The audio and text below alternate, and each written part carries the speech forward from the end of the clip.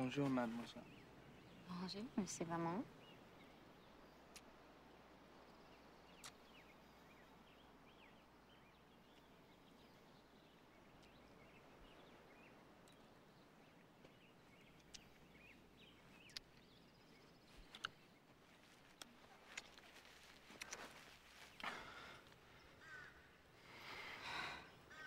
I'm sorry about that.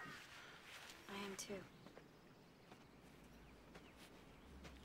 You know what? I'm not sorry. I don't take it back. I thought we were just gonna be friends. I can't handle it. I can't keep my feelings all bottled up like you. Can you honestly tell me that you feel nothing for me? Yeah, I have feelings for you, Sebastian.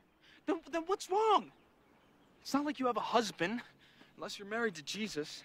That's not fair. Why can't we be together? You really want to know why? Yes, I want to know why. Because I don't trust myself with you. Fun fact just 10 years after Dead Poets Society, we got this shit.